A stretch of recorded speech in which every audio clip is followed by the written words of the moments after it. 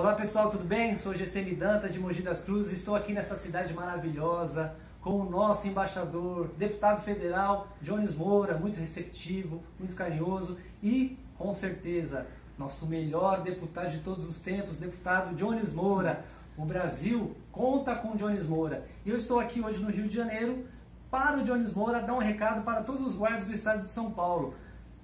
Ó, oh, pessoal, o Danta estava me falando de uma edição importante das Olimpíadas dos Guardas Municipais do Estado de São Paulo. É a 11 edição, vai acontecer em Mogi Guaçu.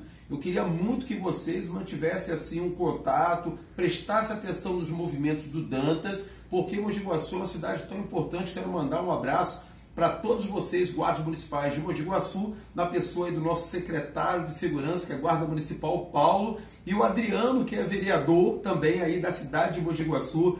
Mas atenção, isso tudo é para todos os guardas do estado de São Paulo. E eu quero acompanhar bem de perto tudo que vai acontecer aí. Isso é muito importante para todos nós. É isso aí. Vamos fazer homenagem aqui para o nosso deputado federal de Moura, uma medalha aqui das Olimpíadas. Espero o senhor lá junto conosco na 11ª edição em Mogi Guaçu.